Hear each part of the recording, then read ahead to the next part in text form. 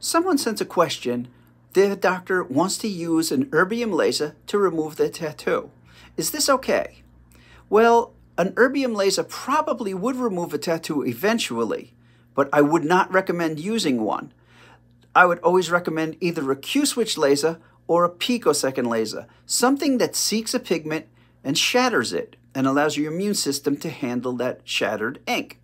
An erbium laser, however, seeks water and then it vaporizes that water and all the tissues above it, allowing an avenue for your ink to escape from.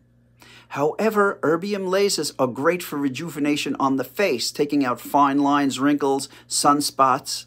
However, off of the face, it's not the same skin, and the results could be very variable.